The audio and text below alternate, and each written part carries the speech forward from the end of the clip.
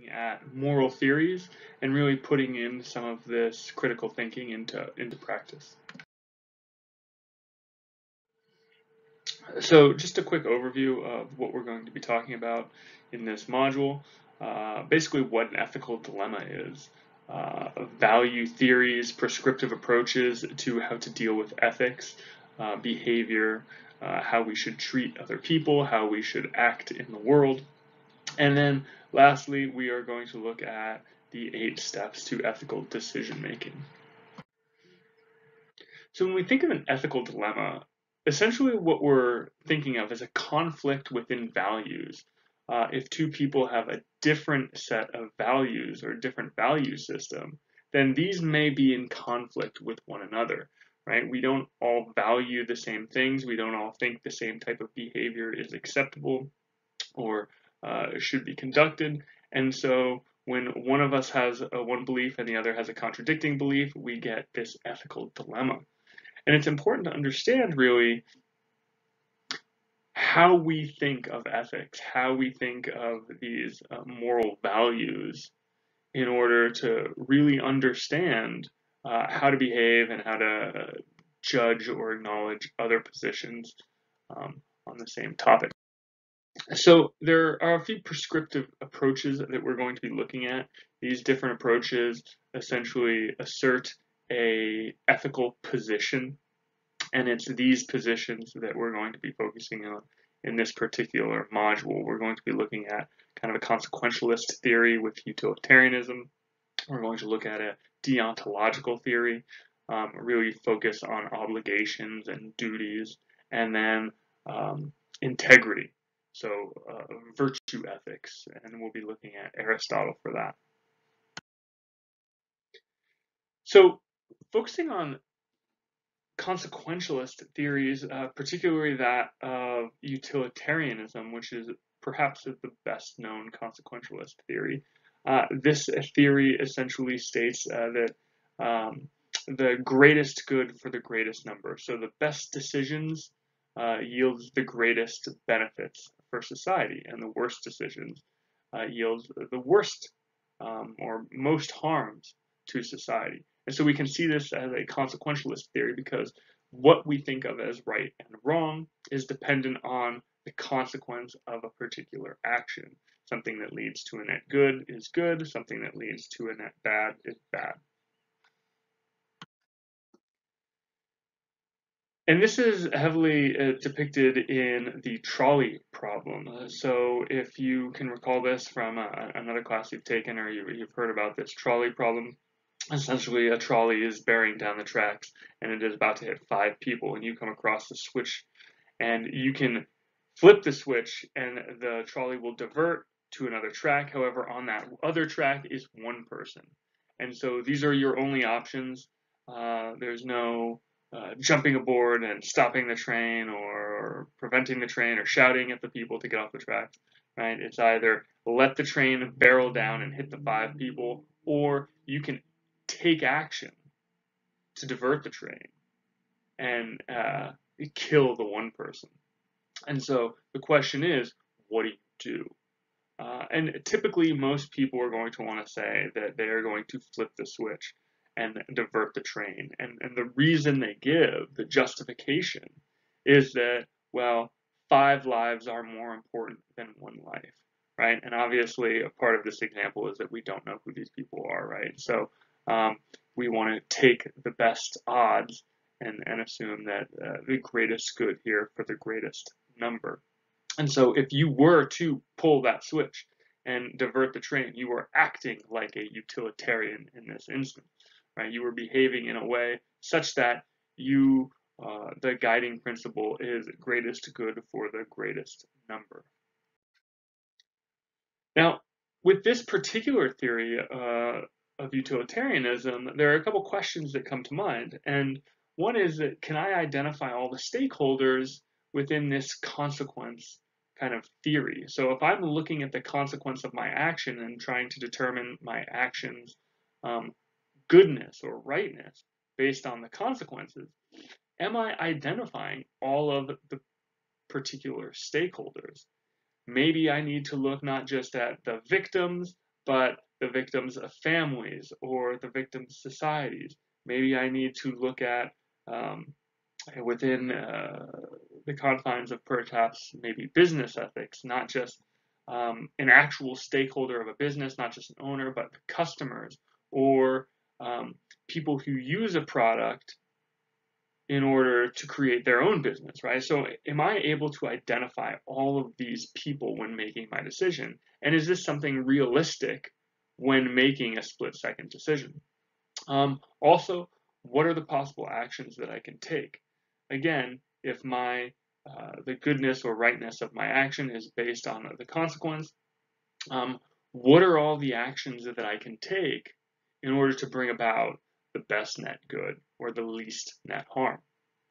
And so then also, what are the harms and benefits given from a potential decision or action? Can I think about all of the benefits to society, or can I think about all of the harms to society before conducting an action? And then lastly, really, uh, what decision will produce the most benefit for the greatest number of people? Right? Am I able to, to really see far enough into the future to know that my action now is going to be a harm or my action now is going to create a benefit for society? And so there are a couple advantages and challenges to this particular consequentialist theory. Um, first is that it's it's practical, right? We seem to think that when good things happen, the effect of the or the um, cause of those things was good in the long run, right? And and this kind of already underlines our way of thinking, particularly in business, right? When you make a decision and your company profits, uh, you made a good decision. Um, and we're not just necessarily talking about monetary profit, but profiting in terms of just kind of uh, social reputation, uh, strength of the company, and so forth. And so this seems to be a very similar way to um, act that, that we do, particularly here in America, where we tend to think politically, right? Greatest good for the greatest number, for the most part, right? There are obviously exceptions to this, but we tend to think that what we're doing is right when it benefits the most of society.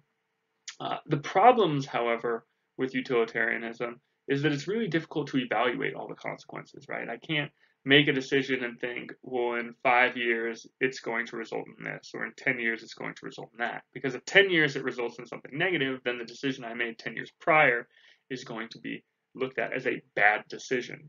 And so you're always kind of looking to the past, and it's really hard to ever evaluate what will be good and what will be bad.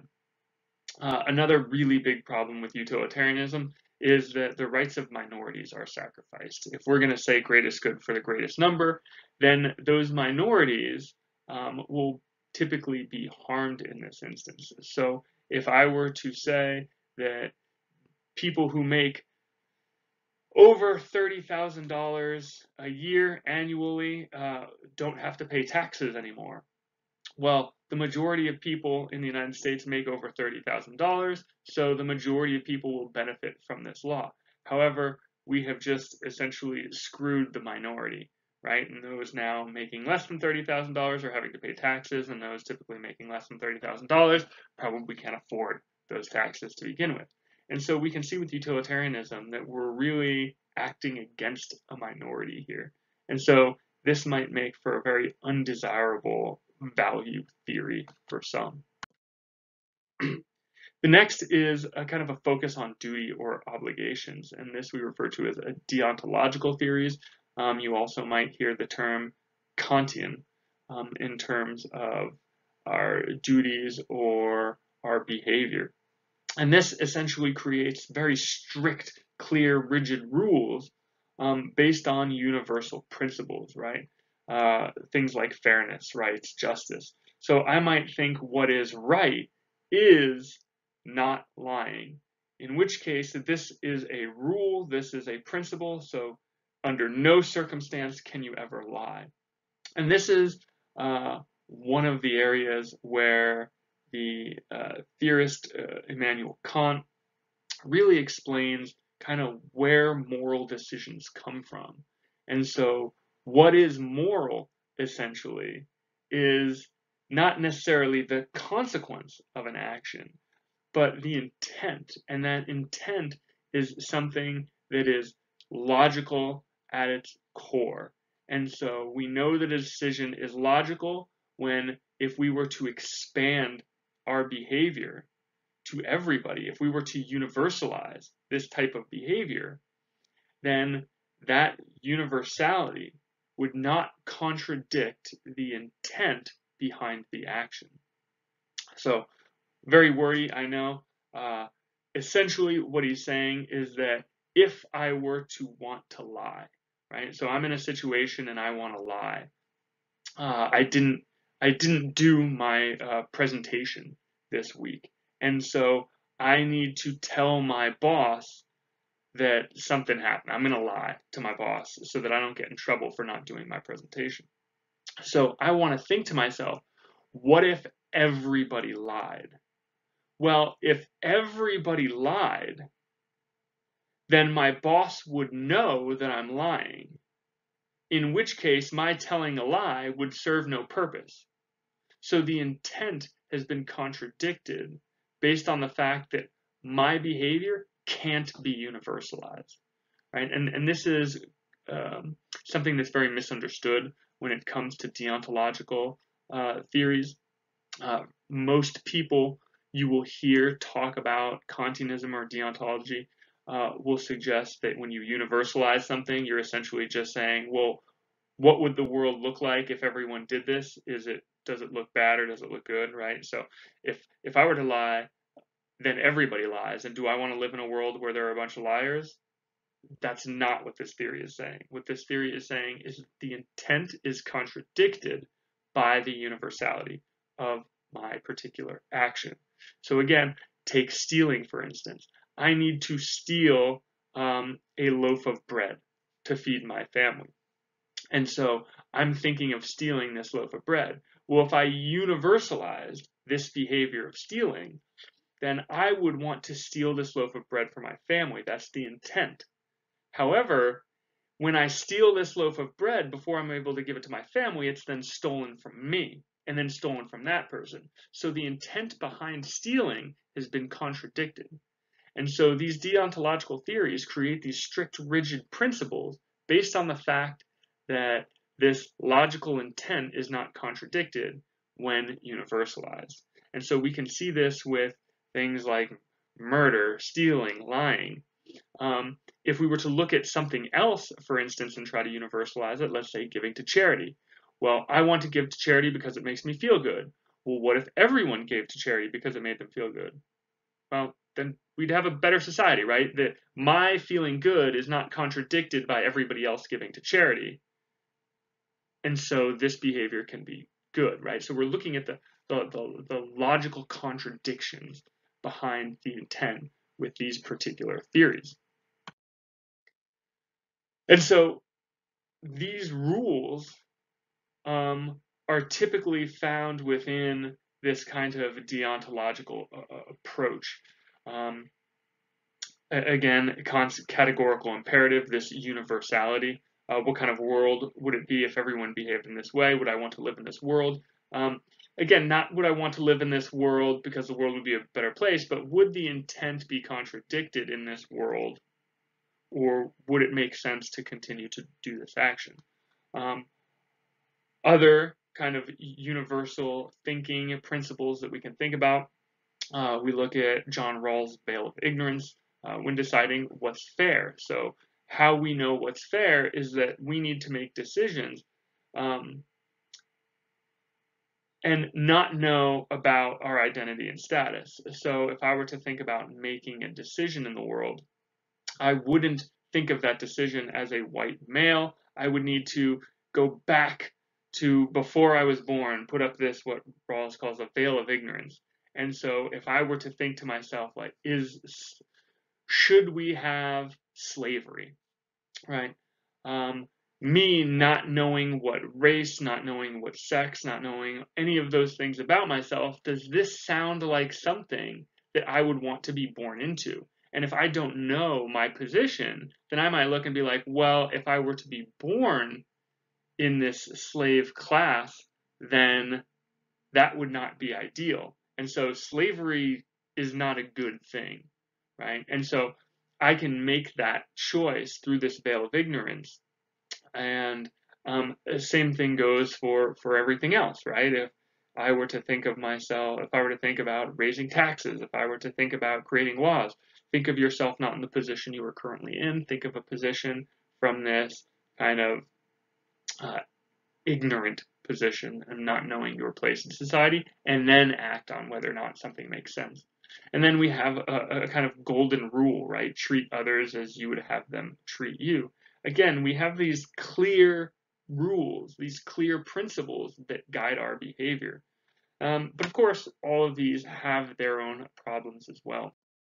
Um, so some questions we might ask ourselves uh, for the deontological position are which values or principles apply, right? This is part of the problem with the golden mean uh, theory, right? Treat others as you would want them to be treated. Well, uh, I want, right, massages all the time. My shoulders always hurt, and so if a stranger just, if I'm eating dinner and a stranger came up to me and just started massaging my shoulders, I love it.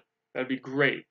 Um, that doesn't mean I can just go up to random people and start massaging them because other people don't find that enjoyable and it could be very creepy for others. And so my values and someone else's values, again, might collide. There might be a ethical dilemma in question, in which case these strict rules may not apply, right? What we think is a strict rule here in America may not be a strict rule in Saudi Arabia and vice versa.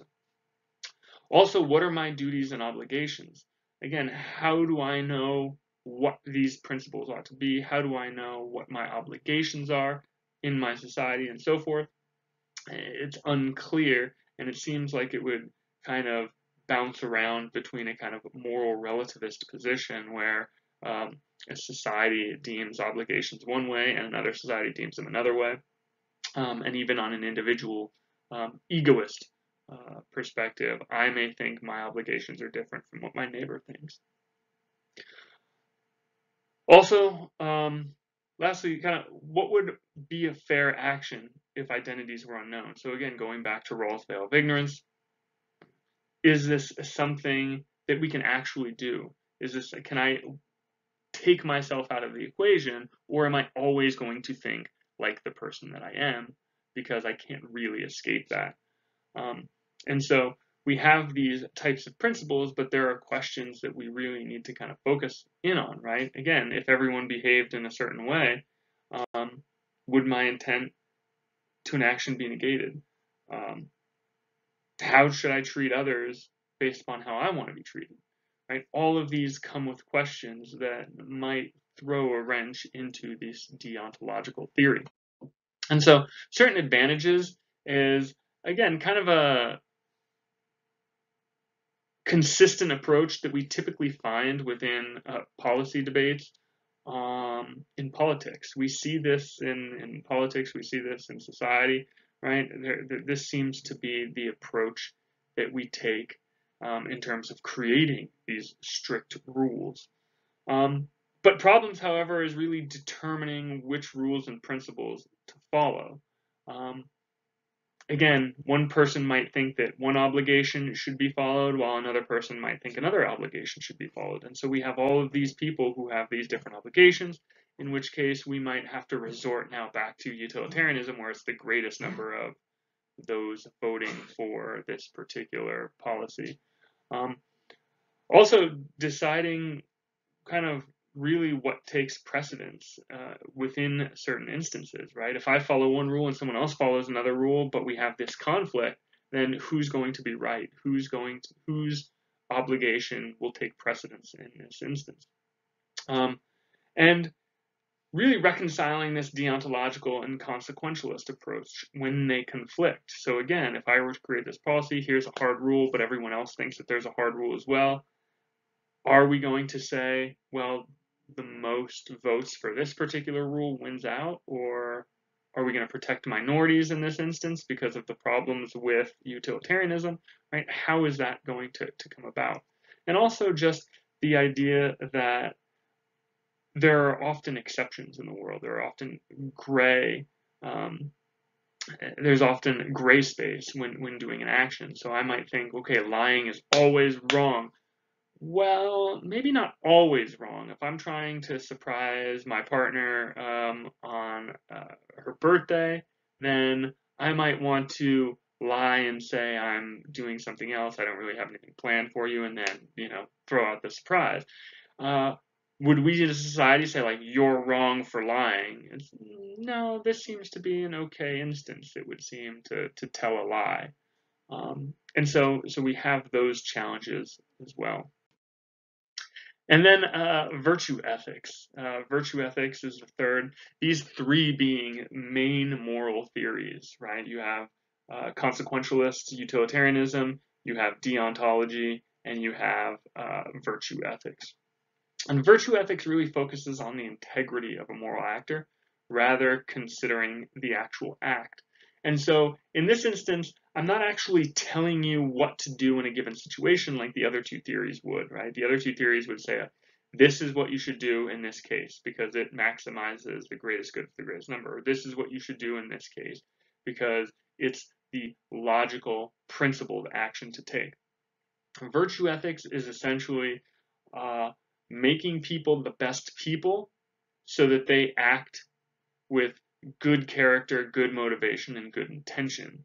And so there isn't really a rule book of how to act in this instance and how to act in that instance.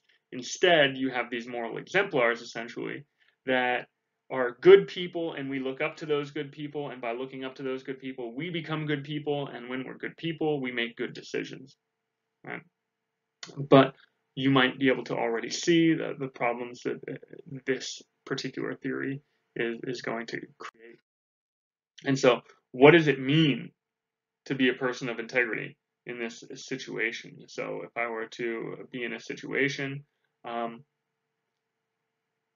what does it mean to have good integrity, right? Maybe I'm making a decision uh, that is kind of damned if you do, damned if you don't, and so it's kind of a toss-up. Um, also, what ethical community will hold me the highest ethical standard? So again, you run into this problem of a character and relativism or egoism, where what I think is best, what I think holds the greatest integrity, uh, may be different from what somebody else holds as the uh, highest integrity based upon my place, based upon my time, and so forth. And so we could ask ourselves, what would the broader community think if we were, uh, uh, if my action were disclosed? So again, the New York Times test, when you are going to conduct an action, um, how would the world look at that action if it were to be publicized everywhere? Uh, would people um, celebrate your behavior or would uh, people have disdain for it? And uh, what would my harshest moral critic think when it comes to me doing this thing? Would someone criticize my action? Um, or would my, even my critic think, yeah, you did what you could, you did the best that you could in this situation? And, and again, what's my ethical role model? Who is my ethical role model? who am I looking up to, right? We often do this in society where we look to these moral exemplars and think like, oh, this person's a good person. I want to be like this person. And then we find out, right, later that that person's not a good person. They're a terrible person. It's like, oh, okay, well, like, I don't want to be like that person anymore. And so we want to kind of ask ourselves, right, who should be my moral exemplar and, and why? Who should be my role model and why? What makes sense in that regard? And so the advantages is is again, it seems as though it would make sense that we build good people to make good decisions. Um, kind of emphasis on the on the good, right, which is incredibly subjective, but taking in a very kind of loose and broad meaning, it seems to kind of make sense. And this theory relies upon community standards. So again, like you act within a community right? You do what a community thinks is good, you become part of this community and so forth. The problems, of course, is that again, one community may disagree with another community, right? What I think is good and virtuous might be different from what someone in Thailand thinks is good and virtuous, or what somebody in Los Angeles thinks is good and virtuous. And most people haven't really done this kind of thinking or work, right? We don't put a lot of emphasis on um, integrity, on character building, right? We don't learn these type of things so much in school. You're just kind of thrust into the world. Hey, learn these things like math, English. Hopefully, your parents and teachers kind of impart some type of integrity and and uh, character building skills on you. But then again, we are subject to the idea of can my community be wrong, right? Think back to times in history when we looked at societies that have gone off the rails. Um, obviously, most commonly and notably, we look at Nazi Germany in the 20th century, in the mid 20th century, and we see right people learning virtuous behavior. But was it virtuous based on the fact that maybe the community was wrong? Maybe the community was making decisions or thinking that this is how people should act when really, right, the rest of the world was saying, no, that's not good. And so there are all these different ways in which we can act ethically, right? There are different moral theories so that when we're acting, we're not just acting based on, oh, golden rule, do unto others as you would have them do unto you. Or we're not just saying, here are some clear principles, or here is clear, greatest good for the greatest number. A lot goes into these. And so when we express these positions, right, we need to use these critical thinking skills in order to evaluate and acknowledge, right, goodness from badness, what makes sense, what doesn't make sense, um, types of fallacious material that uh, is expressed. We need to really look at these particular theories critically to analyze them and understand really how we should be acting, right? We can't just take these things as um, scripture. And so when it comes to making uh, ethical decisions, it's important that we take these kind of eight steps. Um, and these should be done um, throughout any real kind of ethical decision making, critical thinking. And one is to, the first is to, to just gather all the facts right? Again, this is part of a kind of critical thinking process about ethical uh, moral theories. And gather all the facts, right? So if I'm going to do an action, uh, what are all the facts, right? Do I know everything? Think back to the trolley problem, right? The train's barreling down at five people. I can switch the uh, the track and have the train divert to the track with one person. So what are all the facts? Well, the facts are the train's barreling down. There's five people over here, one person over here. I'm in control of this. Right? I'm trying to get as much as I can, right? If I were able, right, like who are the people on the tracks, right? It might make a difference if you have a young um, scientist on the one track with the one person, and then you have five 90 year old convicts on the other track, right? That might change your behavior in a situation. And so we want to gather up all the facts and then define the ethical issues, right? So what are the issues based upon these different theories? And when it comes to ethical issues, right? Who's involved? What are the, what are the behaviors that are supposed to be expected or expressed in this instance? And then identify all the parties involved. So again, uh, there's myself if I'm on the train tracks, right? Me switching the train, even though I'm not going to hit, even though the train isn't going to ever hit me, right? My uh, psychological well-being from having to make such a decision is impacted. Uh, you have the five people on the track. You have the one person on the track. Maybe there's a, a conductor that can't um, do anything, has lost control, right? Maybe that person. The affected parties might be family members, might be society at large. Who knows, right? Trying to gather up all that information and then identify the consequences. So again, if this one person dies, what are the consequences of that? If these five people die, what are the consequences of that? If I pull that lever and actively take part in killing this one individual, right? How does that affect me? What are the consequences that I might face, and so forth? And then identify certain obligations. So, what what am I obliged to do in this situation? Am I obligated to save the five because my society is very utilitarian? Maybe my society suggests that I shouldn't do anything and I just should not get involved and let fate take its course. Um, even though that's kind of a stupid reason. Um, but that's for another lecture. Uh, what are the obligations in this instance? And then what about me? What about my integrity here? So again, what will allow me to sleep at night based upon these actions, right? What do I think is the most integral action to do or position to take in this given situation? I can then think creatively, right? Maybe I can think like, oh, let's do it. I'm going to go run, jump on the train, right? Uh, pull the emergency brake, stop it, save everybody.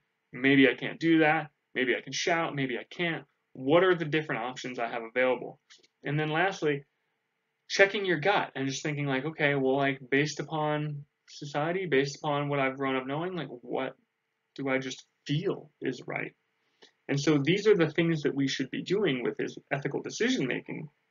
And the the critical thinking that is involved with making certain decisions and thinking about different things like moral theories, right? It's not just as easy as, oh, here's a saying in a Bible, well, I'm going to do that. Well, there's a lot more that goes into it.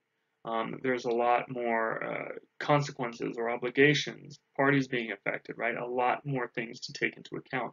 And it's important that we're doing our best critically uh, to think about these particular issues, to think about behavior in order to make the best decision possible.